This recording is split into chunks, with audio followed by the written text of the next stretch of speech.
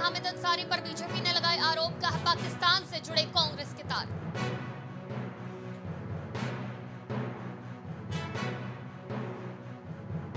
कावड़ यात्रा को लेकर गृह मंत्रालय का अलर्ट, यात्रियों पर हो सकता है आतंकी हमला।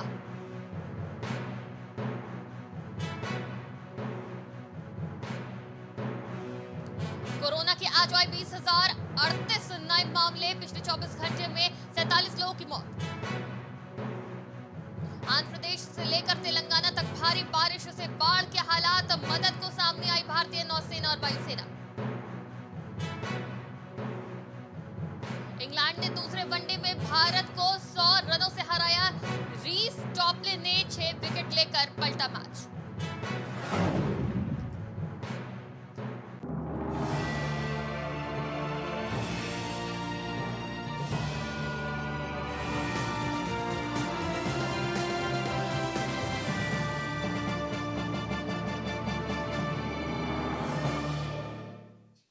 नमस्कार प्राइम टीवी में आपका स्वागत है। मैं हूँ आपके साथ शिखा मेहरोत्रा। शुरुआत करते हैं प्राइम उत्तर प्रदेश की।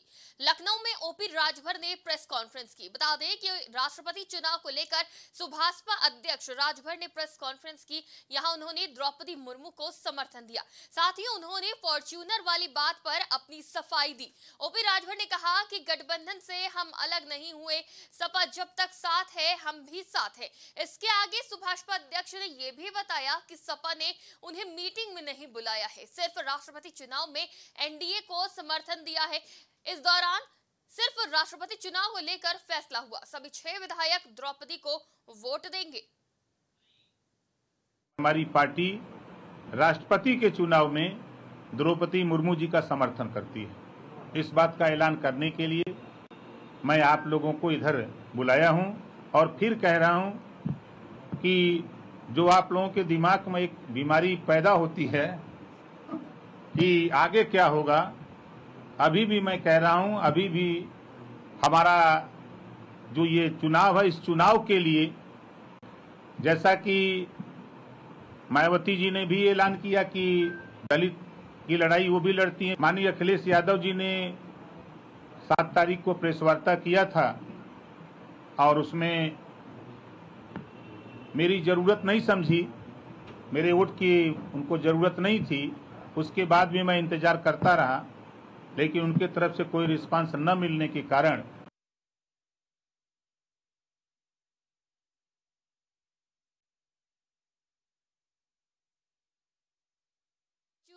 विषय में बोला कि मैं स्कॉर्पियो से चलता हूँ, इनोवा से चलता हूँ, फॉर्च्यूनर कमर तोड़ देती है। साथ ही गठबंधन के बात पे भी उन्होंने कहा कि अखिलेश ने अकेले प्रेस कॉन्फ्रेंस कर ली मुझे बुलाने की ज़रूरत नहीं समझी। जयंत चौधरी को बुला लिया, लेकिन मुझे नहीं बुलाया।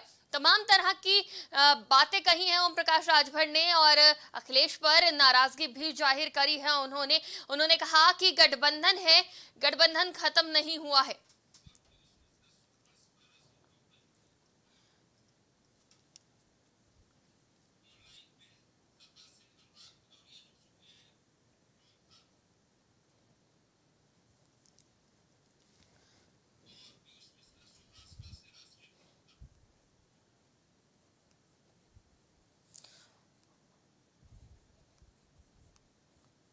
और इस खबर में हमारे साथ सुभाषपा से पीयूष मिश्रा, राष्ट्रीय प्रवक्ता जुड़ चुके हैं और सपा से अनुराग भदौरिया जी जुड़ चुके हैं। जिस तरह से ये ओपी राजभर का बयान सामने आया है पीयूष जी, किस तरह से देख रहे हैं? क्योंकि कई आरोप लगाते हुए नज़र आ रहे हैं ओपी राजभर।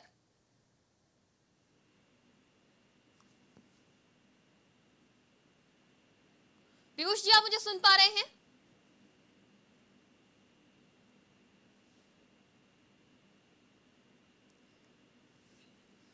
तो हमारा पीयूष जी से संपर्क नहीं हो पा रहा है। अनुराग जी, आप मुझे सुन पा रहे हैं।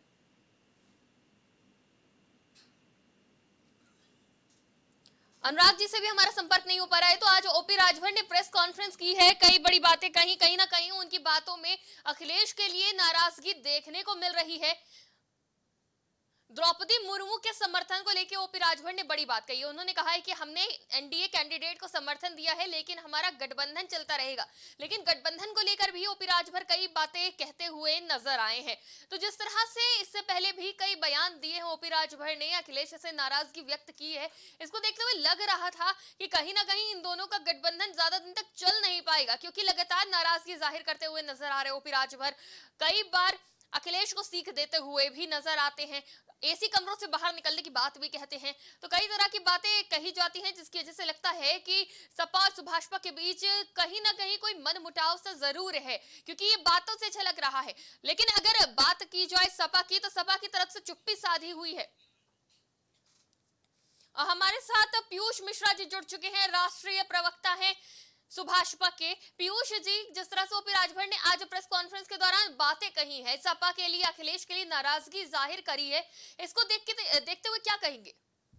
देखिए, ऐसा है कि हमारे राष्ट्रीय अध्यक्ष जी ने जो आज बात कही है, वो सौ परसेंट सही उन्होंने कही। अब चाहे आप उपेक्षा तो सपा शुरुआत से ही कर रही है, चाहे वो एमएलसी सीटों के लिए हो, चाहे जो यशवंत सिन्हा जी लखनऊ जब आए, राष्ट्रपति पद के उम्मीदवार, वहाँ पे बुलाने की बात हो तो कहीं ना कहीं क्योंकि हमारी पार्टी अक्ति छोड़ो दलितों की राजनीति करती है इसलिए दिक्कत हो रही है लोगों को या क्या कारण है? तो जो हमारे राष्ट्रीय अध्यक्ष जी ने बात कही वो एकदम सौ परसेंट सही बात कही है कि पार्टी समाजवादी पार्टी हमारी उपेक्षा कर रही है लगातार ये करती चली आ रही है। मैंने आपको पहले भी जैसा कि बताया चाहे वह विधान परिषद के चुनाव हो चाहे वह मीटिंग हो तो शायद ऐसा ही प्रतीत हो रहा है कि समाजवादी पार्टी को सुहेल देव भारतीय समाज पार्टी की ज़रूरत नहीं है। उसी के मद्देनजर हमारे राष्ट्रीय अध्यक्ष जी ने यह बयान दिया। अनुराग जी ओपी राजभर के बयान को आप किस तरह से देखते हैं? क्योंकि वो सीधे तौर पर कह रहे हैं कि सपा को उनके वोटों की ज़रूरत नहीं है। अनुराग जी। देखिए गठबंधन का एक धर्म होता है और गठबंधन धर्म निभाने की ज़िम्मेदारी पार्टी की होती है। गठबंधन में जो पार्टियाँ होती हैं आपको कोई दिक्कत होती है तो आप अपनी बात कह सकते हैं लेकिन पब्लिक में बातों को कहना अच्छा नहीं होता है। एक बात दूसरी बात सब दल का अपने अपने दल जिसका होता है उसको अपना अधिकार होता है किसको वोट करे किसको वोट नहीं करे। ये उनका अपना फैसला है। समाजवादी को इससे कोई लेना देना नहीं है। कौन किसको वोट करना है कौन नहीं। भाई लोकतंत्र में यही तो खासियत है लोकतंत्र। सब पार्टी को अपना राइट है जिसको वोट करे नहीं। अब उन्होंने तय किया है वो बहुत जानते होंगे उनको किसको वोट करना है। समाजवादी पार्टी हमेशा से रिश्तों का सम्मान करती है और जो रिश्तों का सम्मान नहीं कर पाते हैं, वो मुझे नहीं लगता है कि वो हिंदुस्तान की संस्कृति और संस्कार को पहचान क्योंकि हमारे संस्कृति संस्कार यही है कि जब आप किसी के गठबंधन में होते हैं तो एक दूसरे का सम्मान करना चाहिए और कोई बात है तो आके बोलो अनुराग जी, जिस तरह से ओपी राजभर ने पहले भी ये कहा था कि वो जो गठबंधन है उसका सम्मान करेंगे, वो जिस तरह, जहाँ सपा वोट करेगी, उधर ही वोट करेंगे एनडीए के कैंडिडेट को वोट नहीं करेंगे। हालाँकि वो डिनर पे गए थे एनडीए के कैंडिडेट से मिले भी थे, लेकिन उन्होंने सपा का समर्थन किया था। इसके बाद अब जिस तरह से ये बात कही जा रही है, कहीं ना कहीं नाराज़गी देखने को मिल रही है। इस पे क्या कहेंगे? देखिए देखिए, जो जो लोग कुछ हैं करते कुछ उन यकीन करना मुझे तो के लिए बहुत मुश्किल काम होता है। एक तरफ़ आप बीजेपी के नेताओं से मिलेंगे, उनका डिनर खाएँगे, दूसरी तरफ़ दो बातें करेंगे तो अपनी देखो, हमें कोई दिक्कत नहीं, उनकी अपनी पार्टी जो फैसला लेना है, लें। लेकिन हम समाजवादी लोग का चेहरा जो सामने होता है, वही पीछे होता है। चेहरा सामने होता है। हम लोग जनता बात करते हैं, जनता को क्या मदद करनी जनता को क्या अच्छा जनता की क्या सेवा कर सकते हैं, जनता के मुद्दों को उठा सकते हैं, हम उसमें सोचते हैं, हम किसी की कहने और नहीं कहने से इस तरह कर रहे हैं। धन्यवाद। जी, अनुराग जी, एक और सवाल। तो संपर्क टूट चुका है। और जिस तरह से कई जवाब दिए हैं सपा की तरफ़ से तो सपा अब आगे के जवाब देने से भाग रही है। अनुराग जी ने बाकी के सवालों का जवाब नहीं दिया, क्योंकि कई ओपी राजभर ने सवाल खड़े किए हैं। और आप किस तरह से देख रहे हैं, जिस तरह से पीयूष जी, ये बातें सामने आ रही हैं, और ओपी राजभर ने भी कहा है कि मैं पिछड़ा हूँ, इस वजह से सपा ने मुझे प्रेस कॉन्फ्रेंस में शामिल नहीं किया, जयंत चौधरी को बुला लिया। आप किस तरह से देख रहे हैं? देखिए जो हमारे राष्ट्रीय अध्यक्ष माननीय ओम प्रकाश राजभर जी ने बात कही है, वो सौ परसेंट सही बात कही है। उसका जवाब किसी के पास नहीं है। शायद यही कारण है कि लोग टकरा रहे हैं इनका जवाब देने में और सामने नहीं आ रहे हैं। हमने जैसे आपको कि पहले से शुरुआत से ही बताया, चाहे वो एमएलसी चुनाव हो, चाहे वह ये राष्ट्रपति पद की जो कैंडिडेट है, यशवंत सिन्हा जी, जब लखनऊ आए, उनकी मीटिंग की बात हो तो कहीं कहीं देखने वाली बात होगी कि क्योंकि हम लोग पिछड़े दलितों की बात करते हैं, इसलिए शायद किसी को दिक्कत हो रही है या किसी को ऐसा लग रहा है कि ये कुछ ज़्यादा बड़े बन जाएँगे। तो जो भी जिसकी भी जैसी धारणा रही हो, फ़िलहाल हम लोगों का स्पष्ट आज का ये प्रेस कॉन्फ्रेंस में निकल के आया है कि हम लोग एनडीए की उम्मीदवार द्रौपदी मुर्मू जी को राष्ट्रपति बनाने के लिए वोट करेंगे। जी, धन्यवाद। क्या लगता है कि गठबंधन और आगे चल पाएगा? पीयूष जी। अब ये चलाना न चलाना अखिलेश जी के ऊपर है राष्ट्रीय अध्यक्ष जी हैं समाजवादी पार्टी के उनके ऊपर है। अभी तो फ़िलहाल हम लोग गठबंधन में थे अब आगे क्या करना है ये उनको तय करना है। जी, जी बिल्कुल। बहुत बहुत शुक्रिया हमारे साथ जुड़ने के लिए तमाम जानकारी और बातचीत के लिए इस खबर पे हमारे साथ सुभाषपा से पीयूष मिश्रा जी जुड़े थे और साथ ही साथ हमारे साथ सवालों का जवाब देने के लिए सपा से अनुराग भदौरिया जी प्रवक्ता जुड़े थे। तो कहीं ना कहीं सपा जवाब देने में कतरा रही है, सारे सवालों का जवाब नहीं दे पा रही है क्योंकि ओपी राजभर ने कई सवाल उठाए हैं। एसी कमरों से निकल कर काम करने के लिए उनको कई बार कहा भी है अखिलेश को, लेकिन सपा जितने भी जवाब करे गए, सवाल करेगा, उनका जवाब देने से कहीं ना कहीं बस्ती हुई नज़र आई। ओपी राजभर ने प्रेस कॉन्फ्रेंस करके सीधे तौर पर अब ये ऐलान कर दिया है कि उनके विधायक एनडीए को समर्थन देंगे, एनडीए उम्मीदवार द्रौपदी मुर्मू को अपना समर्थन देंगे, क्योंकि अखिलेश यादव से कहीं ना कहीं ओपी राजभर नाराज़ नज़र आ रहे हैं। प्रेस कॉन्फ्रेंस करी गठबंधन से जयंत चौधरी को बुलाया, लेकिन एक और गठबंधन जो सुभाषपा का था, ओपी राजभर को नहीं बुलाया गया। उन्होंने सीधे तौर पर आरोप लगाया कि मैं पिछड़ा हुआ हूँ, इसलिए मुझे नहीं बुलाया गया। एक बड़ा आरोप लगाया है और इससे बचते हुए सपा भागती हुई नज़र आई है।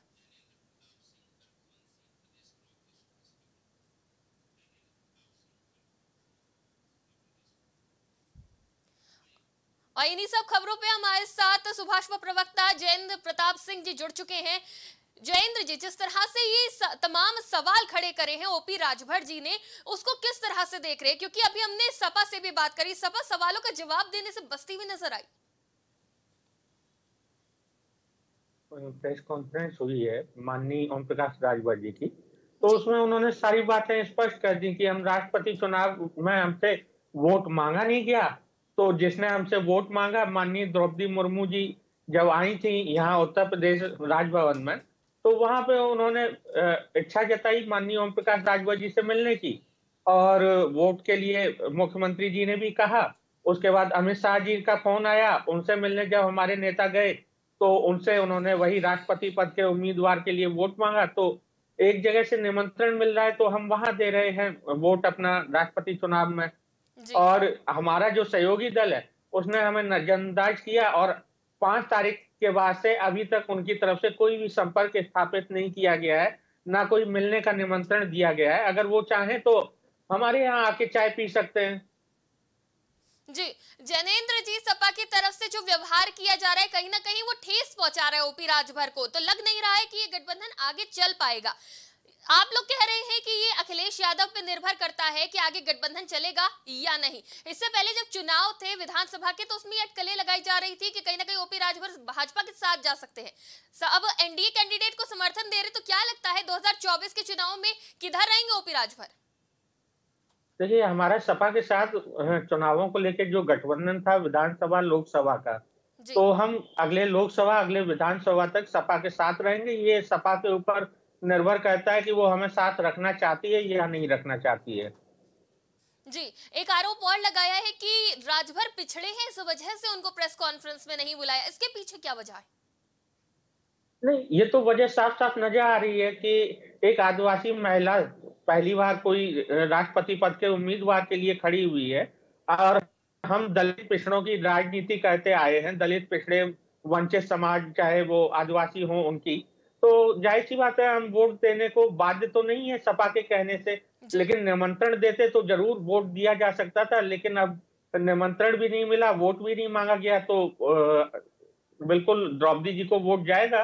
और जहाँ तक पिछड़े और दलितों की बात है तो एक चीज़ से स्पष्ट हो गया कि सपा पिछड़े दलितों को वोट नहीं दिलवाना चाहती है। राष्ट्रपति पद के लिए ना अपने खुद देना चाहती है। जी, जिस तरह से पहले डिनर में जाते ओपी राजभर, उसके बाद कहते हैं कि सपा जिधर वोट करने के लिए कहेगी, हम उधर ही रहेंगे, हम गठबंधन का समर्थन करेंगे। उसके बाद फिर नाराज़गी देखने को मिलती है, प्रेस कॉन्फ्रेंस में नहीं बुलाया जाता है तो फिर ओपी राजभर अपना निर्णय बदल लेते और कहते हैं कि एनडीए उम्मीदवार को ही वोट करेंगे और अब ऐलान कर दिया है। तो क्या नाराज़गी इसके पीछे या फिर सिर्फ़ यही वजह है कि वो पिछड़े वर्ग से आती द्रौपदी मुर्मू, इसीलिए समर्थन किया जा रहा है? नहीं, बिल्कुल वो आदिवासी समाज से आती हैं और बहुत मेहनत करके यहाँ तक पहुँची हैं। हालाँकि जो राष्ट्रपति पद के उम्मीदवार चन्ना जी भी हैं, वो भी बहुत मेहनत से यहाँ तक पहुँचे हैं, लेकिन हम एक पिछड़े दलित समुदाय, वंचित समुदाय, आदिवासी समुदाय का प्रतिनिधित्व करते हैं। इस वजह से पक्ष में, उनके पक्ष में, द्रौपदी जी के पक्ष में वोट दिया जा रहा है। दूसरी चीज़ मैं तारीख वाइज बता दूँ कि पाँच तारीख को हमें फ़ोन आया था और छह तारीख को मना कर दिया। सात तारीख को सभी यशवंत सिन्हा जी की मीट, साथ मीटिंग कर रहे थे। सपा कार्यालय में हमको नहीं बुलाया गया था। हमारे सहयोगी दल को बुलाया गया था।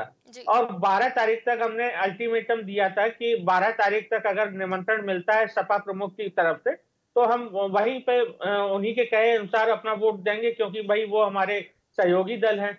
लेकिन 12 के बाद भी आज 15 तारीख हो गई। अभी तक उनकी तरफ़ से कोई निमंत्रण हमें प्राप्त नहीं हुआ है। तो जिस तरह का अखिलेश द्वारा व्यवहार किया जा रहा है और ऐसा भी कहा जाता है कि वो वरिष्ठ नेताओं का सम्मान नहीं करते, उनके सुनते नहीं है वो, चाहे उनके चाचा शिवपाल ही क्यों ना हो तो क्या ऐसा ही व्यवहार ओपी राजभर के साथ भी करा जा रहा है? नहीं, लोहिया जी ने अपने एक किसी किताब में एक जगह बहुत सही लिखा था कि जहाँ जहाँ से ज्ञान मिले, उसे बटोते रहना चाहिए। तो अगर कोई सीख को ये कह रहा है कि हमें आ, किसी की सीख की ज़रूरत नहीं सलाह की ज़रूरत नहीं तो ये बहुत गलत है और एक तरह से हमारा तो हृदय विक्षिप्त हुआ ही है इससे। तो एसी कमरों से निकल के काम करने की बात कही है संगठन को मज़बूत करने की राह दिखा रहे ओपी राजभर लेकिन अखिलेश कह रहे कि हमें कोई बताए ना कि हमें क्या करना है हमें मालूम है कि हमें क्या करना है इसको किस तरह से देख रहे हैं? ये थोड़ा सा जब व्यक्ति अहंकारी हो जाता है या उसको कोई सच कड़वा लगता है। तो उसका ऐसा रिएक्शन होता है कि हमें किसी की सलाह नहीं चाहिए। तो क्या लगता सीखने है से बचना चाहते हैं। पूरी पार्टी को आगे बढ़ा पाएँगे या फिर विपक्ष में ही रह जाएँगे? माफ़ कीजिएगा। तो आपको क्या लग रहा है कि जिस तरह से अखिलेश व्यवहार कर रहे हैं अपने नेताओं के साथ तो क्या इस तरह से वो विपक्ष में ही रह जाएँगे या फिर कभी सत्ता में काबिज हो पाएँगे भविष्य में? नहीं देखिए सहयोगियों को साथ लेना लेके कैसे चला जाता है ये तो अखिलेश जी को सीखना पड़ेगा। क्योंकि जब उनका कांग्रेस के साथ गठबंधन हुआ था तो कांग्रेस भी चुनाव के बाद बिल्कुल चली गई थी उनके हाथ से। जब उनका बसपा के साथ गठबंधन हुआ तो बसपा भी चुनाव के तुरंत बाद ही गठबंधन टूट गया था। अभी अभी जस्ट दस बारह दिन पहले महान दल का गठबंधन उनका साथ छोड़ के गया है। और अपना दल कमेरावादी भी अभी असमंजस की स्थिति में है।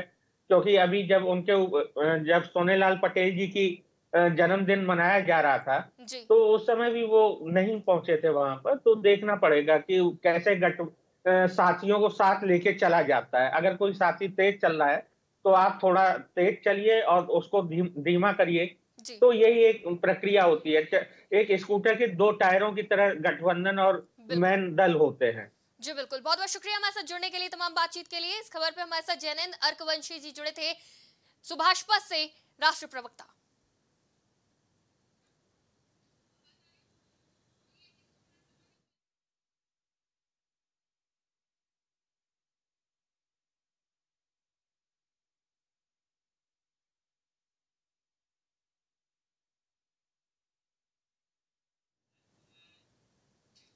राजधानी लखनऊ का लुलू मॉल विवादों से घिर गया है। मॉल परिसर के अंदर नमाज़ पढ़ने को लेकर विवाद हुआ था। उसके बाद लुलू मॉल के अंदर नमाज़ पढ़ने का वीडियो भी सामने आया था।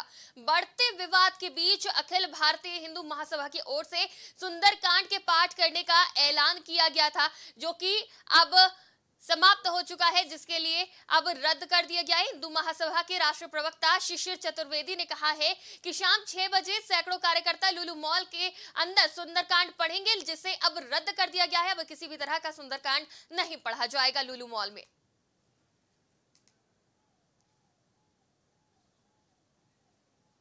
तो लुलू मॉल विवादों से घिर गया है, जब से ये तस्वीरें सामने आई हैं, जहाँ लुलू मॉल के अंदर आधे दर्जन से ज़्यादा लोग नमाज़ पढ़ते हुए नज़र आए हैं, जिसके बाद से ये चर्चा का विषय बन गया था। फिर अखिल भारतीय हिंदू महासभा की तरफ़ से भी ये कहा गया था कि अगर मॉल के अंदर नमाज़ पढ़ी जाएगी तो हम तो हम भी सुंदरकांड का पाठ करेंगे।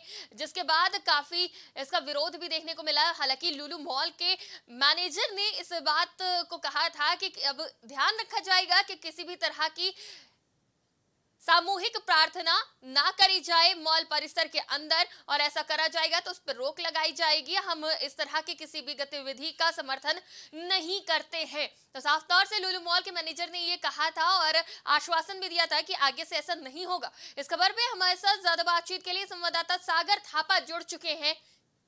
लुलू मॉल से। तो सागर, जिस तरह से ये नमाज़ का वीडियो सामने आया था, उसके बाद ही कहा गया था कि सुंदरकांड का पाठ भी होगा लुलू मॉल के अंदर। लेकिन बीती शाम ही लुलू मॉल के मैनेजर ने इस बात को साफ़ कर दिया था कि अब इस तरह की सामूहिक प्रार्थना परिसर में नहीं होगी। क्या इसी के बाद ये फैसला लिया गया है कि सुंदरकांड का पाठ अब नहीं किया जाएगा?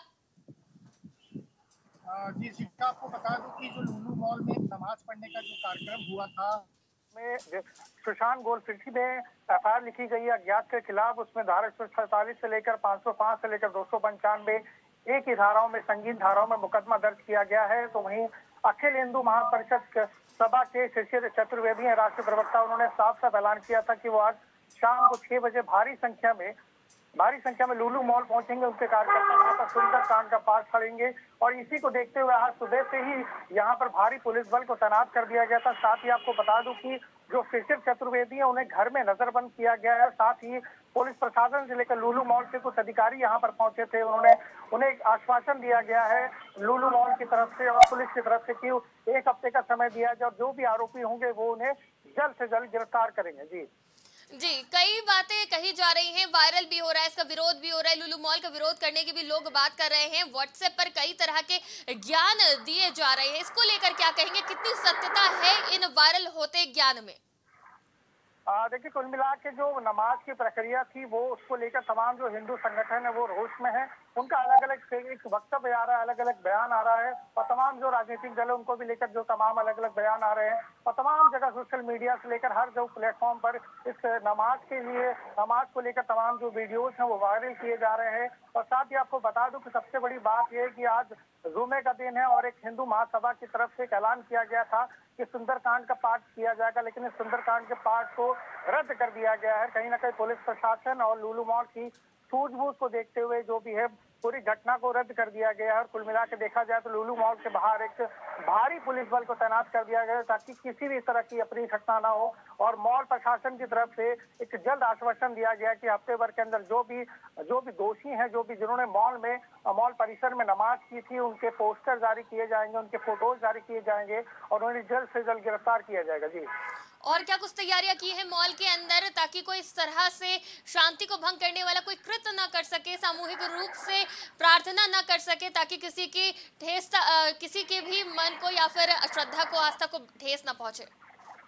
जी, आपको बता दूँ, शिखा के नमाज़ की प्रक्रिया के बाद ही मॉल प्रशासन ने मॉल के बाहर एक बोर्ड लगा दिया गया है ताकि उन्हें साफ़ साफ़ ज़ाहिर कर दिया गया, अपनी तरफ़ ऐलान किया गया है कि यहाँ पर किसी भी तरह की धार्मिक कृत्य ना की जाए, ना नमाज़ पढ़ी जाए ना मंदिर ना पूजा किया जाए, ना किसी भी तरीके की ऐसी धार्मिक कृत्य ना किया जाए जिससे कि किसी भी भावना को ठेस पहुँचे। साथ साथ आपको बता दूँ कि सुबह से ही भारी पुलिस बल यहाँ पर तैनात है। पुलिस बल की जो संख्या है लगातार बढ़ाई गई है। तमाम बड़े आला अधिकारी यहाँ पर पहुँचे। स्थानीय थाने से लेकर बड़े आला अधिकारी यहाँ पर मौजूद रहे। शिरकत की उन्होंने साथ साथ मॉल के एकदम जो भी सुरक्षा है सुरक्षा को चार चौमन जानने के लिए उन्होंने निरीक्षण भी किया सुबह सुबह और अब ये बता दूँ कि हिंदू महासभा के जो राष्ट्र प्रवक्ता है, सुशील चतुर्वेदी, उनकी तरफ़ से एक ऐलान आया कि जो सुंदरकांड का पाठ करने की जो ऐलान किया गया था मॉल प्रशासन में शाम को छह बजे के बाद, वो उन्हें रद्द कर दिया गया। तो कहीं ना कहीं पुलिस प्रशासन और मॉल प्रशासन ने एक राहत के सांस लिए जी बिल्कुल, बहुत बहुत शुक्रिया हमारे साथ जुड़ने के लिए तमाम जानकारी के लिए। इस खबर पर हमारे संवाददाता सागर थापा जुड़े थे लखनऊ से।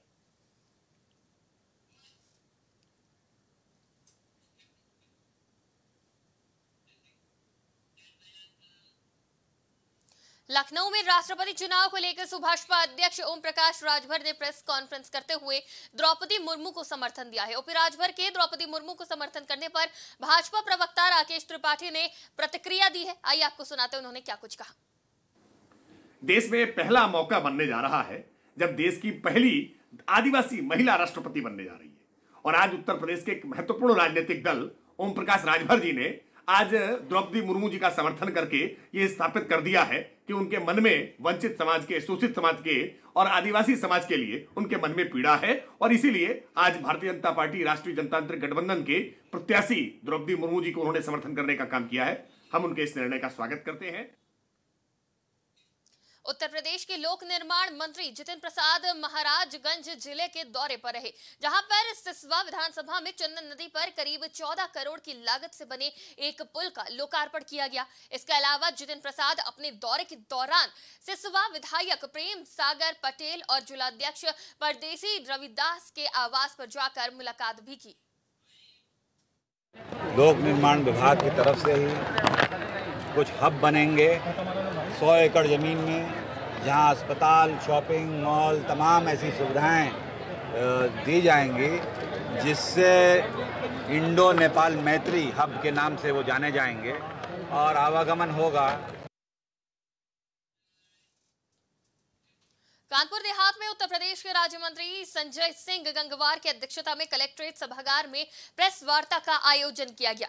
इस दौरान प्रेस वार्ता में राज्य मंत्री संजय सिंह गंगवार ने सरकार के कामों का विवरण दिया है। इसके साथ ही उन्होंने प्रेस वार्ता में आम जनता से अपील की कि यूपी सरकार में चलाई जा रही सभी स्कीमों का लाभ उठाएँ।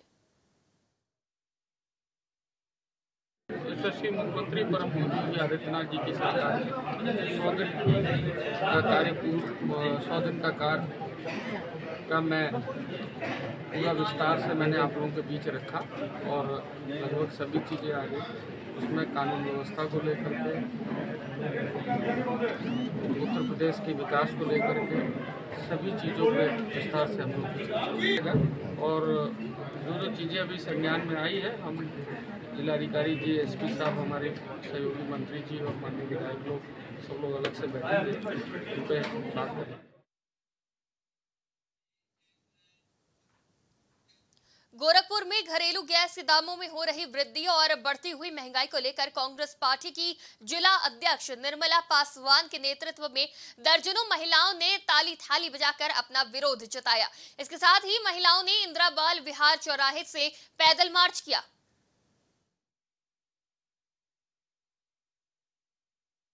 जैसा कि जैसा आपको मालूम है, मालूम है कि ये ये बीजेपी की सरकार सरकार एक झूठी सरकार सरकार और एक और एक महिलाओं को महिलाओं को सबसे ज़्यादा छलने वाली सरकार है। इन्होंने कहा कि महिलाओं के लिए गैस फ्री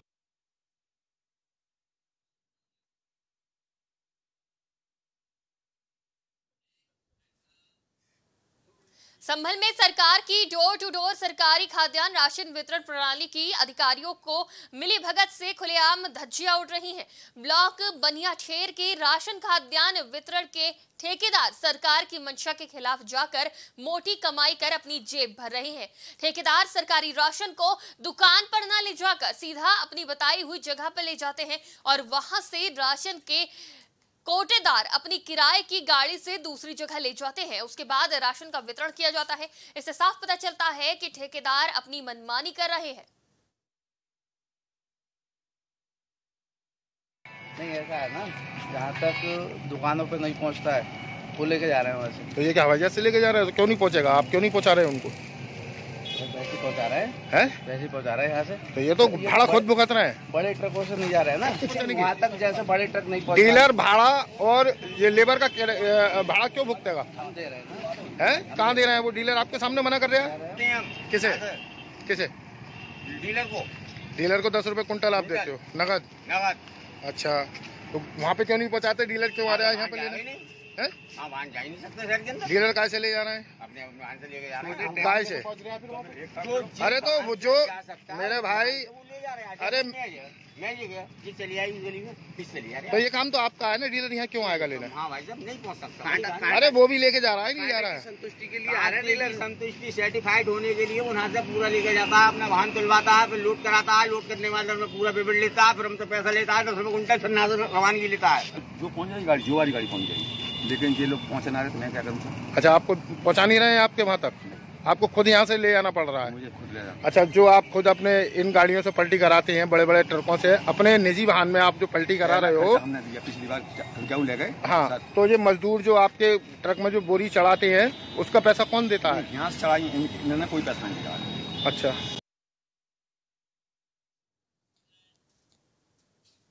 बुलंदशहर में हथियार बंद बदमाशों ने मस्जिद के भीतर घुसकर बुज़ुर्ग की निर्मम हत्या कर दी। सनसनीखेज हत्याकांड से इलाके में दहशत का माहौल है।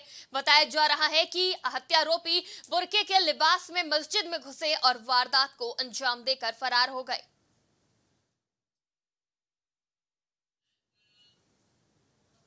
देवरिया में सदर रेलवे स्टेशन के प्लेटफॉर्म नंबर दो पर आरपीएफ के एक सिपाही ने शराब के नशे में खूब उत्पात मचाया, जिसके बाद अधिकारियों के साथ यात्रियों को भी परेशानियों का सामना करना पड़ा। दरअसल रेलवे स्टेशन पर सुरक्षा में तैनात एक सिपाही शराब के नशे में रेलवे स्टेशन के एक दुकानदार से उलझ गया। दुकानदार की गलती बस इतनी थी कि पानी और नमकीन का पैसा सिपाही जिसे मांग लिया इस घटना के शिकायत करने पर दुकानदार ने आरपीएफ इंस्पेक्टर को लिखित तहरीर देकर की है। इंस्पेक्टर ने जाँच कर उचित कार्रवाई करने का आश्वासन दिया है। पानी दो नमकीन दो। वो तार में हम नहीं दिए हैं। उसके बाद उनको लगा डाली देने बोला तुम तो अब दारू पिया फुल है अभी आप मित्र चाहिए अभी वो दारू पिया हुआ है। इतने आदमी हैं पब्लिक पूछे सबसे दारू पी अभी फुल है। क्या नाम है सिपाही का? सुरेश सुरेश।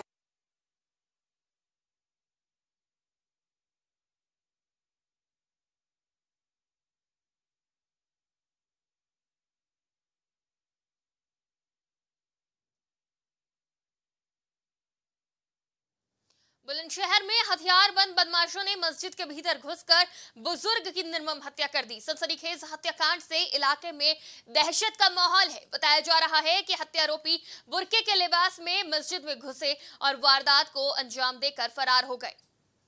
ये थाना खुर्जा नगर में आज एक इद्रीस नाम के व्यक्ति सुबह नमाज़ पढ़ने जा रहे थे, तभी उनकी हत्या कुछ लोगों द्वारा कर दी गई है। इस संबंध में कुछ सीसीटीवी फुटेज भी प्राप्त हुए हैं और परिवार द्वारा एक वहीं पास का रहने वाला व्यक्ति है जिसका नाम सरफराज है उससे पूर्व की रंजिश होना बताया गया है जिसके क्रम में कुछ संदिग्ध लोगों से पूछताछ अभी की जा रही फरीदाबाद के बीके अस्पताल में एक पति ने अपनी पत्नी को उनके प्रेमी के साथ देखकर आग बबूला हो गया। देखते ही देखते पत्नी की पिटाई शुरू कर दी। पति ने अपनी पत्नी पर गंभीर आरोप लगाए हैं, जिसका वीडियो सोशल मीडिया पर वायरल हो रहा है। कानपुर में उन्नीस सौ चौरासी में हुए सिख विरोधी दंगे मामले में एसआईटी की कार्रवाई जारी है। पुलिस ने अब तक 22 आरोपियों को गिरफ़्तार किया है। इसके साथ ही एसआईटी डीआईजी का कहना है कि गिरफ्तारी के लिए अलग अलग टीमों को लगाया गया है। कुल चौहत्तर आरोपियों की पहचान हुई है। वर्ष उन्नीस में कानपुर नगर में हुए सिख विरोधी दंगों में विवेचनात्मक कार्रवाई पूर्ण करके अभियुक्तों की गिरफ्तारी की कार्रवाई का क्रम लगातार जारी है।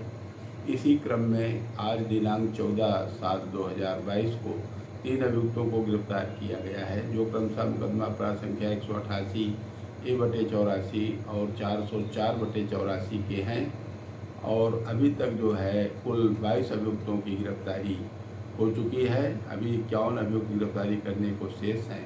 ये क्रम लगातार जारी रहेगा। बछरावा थाने के टेरा बरौला गाँव में शराब के धोखे में दो युवक पीपरमिंट का तेल पी गए, जिसकी वजह से उनकी तबियत बिगड़ गई। जिसके बाद परिजनों ने आनंद फानन में जिला अस्पताल भर्ती कराया। वहाँ पर दोनों युवकों की तबियत बिगड़ने पर लखनऊ के एक प्राइवेट हॉस्पिटल में उन्हें रेफर किया गया, जहाँ पर इलाज के दौरान एक युवक की मौत हो गई और दूसरे की हालत बहुत गंभीर है। जिसके बाद परिजनों ने शव को रखकर प्रदर्शन किया। ले गए, गाँव के पास खेत है, वहीं लेटा था। वहाँ से उठा के ले गए, उसको पता नहीं, शराब पिलाया है कि जहर पिलाया। है हमने एक उसको एंबुलेंस को फ़ोन किया, वो यहाँ से लेकर बछरावा गई, यहाँ से रिफ़र कर दिया गया रायबरेली को। जिला अस्पताल ले गए, जिला अस्पताल में रिफ़र कर दिए लखनऊ के लिए। तो वहाँ डॉक्टर ने बताया कि लखनऊ तो पहुँच नहीं पाएँगे। तो सर, हम वहाँ छजलापुर में वो संगम हॉस्पिटल है। संगम हॉस्पिटल में हमने भर्ती करा दिया। और 24 घंटे में भर्ती करे रखे। कल शाम दो बजे के पास लगभग ये एक्सपायर हो गए। और हमारे घर की औरतें थाना गई। तो वहाँ कहा कि अभी हम कैसे एफआईआर दर्ज करेंगे? वहाँ चले आए, अब हम लाश लेकर फिर पोस्टमार्टम करवाए, अभी पोस्टमार्टम करवा के तो फिर वापस ले आए। गाजियाबाद पुलिस को एक बड़ी सफलता हाथ लगी है। क्राइम ब्रांच और कविनगर पुलिस ने संयुक्त कार्रवाई करते हुए अंतर्राज्यीय दो परिया दो पहिया वाहन चोरी करने वाले गैंग के चोरों को गिरफ़्तार किया है। पुलिस के चोरों में पंद्रह हज़ार का इनामी आकाश भी शामिल है। चोरों की निशानदेही पर पुलिस ने 40 मोटरसाइकिल और 15 मास्टर की बरामद की है। हमारी क्राइम ब्रांच ने दो पहिया वाहन चोरी करने वाले अंतर्राज्यीय गैंग के पाँच लोगों को गिरफ़्तार किया है, जिनमें से तीन चोरी करते हैं और दो लोग रिसीवर हैं। इन लोगों से हमको 40 बाइक्स बरामद हुई हैं और पाँच इनके पास जो इनकी मास्टर की बोलते हैं, जिसको वो हमने बरामद किए हैं। इनके आप, इसमें एक आकाश गिरफ़्तार हुआ है, जिसके ऊपर बत्तीस मुकदमे दर्ज हैं। विभिन्न जगहों से और रवि गुप्ता इस पर चौवन मुकदमे ऑलरेडी दर्ज आगे की चेन में हम ज़रूर जाएँगे। एक तो रिसीवर ने जो और भी चोरों के नाम बताएँगे कौन इनको और देता था, वो चोर के हमको काम करना है। दूसरा, आगे जाके कहाँ गाड़ियाँ कटती थी या फिर कहाँ से, जो इनसे भी बड़ा रिसीवर है कि जो मेन रिसीवर था, उन दोनों के ऊपर भी काम चल रहा है। प्राइम उत्तर प्रदेश में फ़िलहाल इतना ही। देश दुनिया की तमाम खबरों के लिए देखते रहिए प्राइम टीवी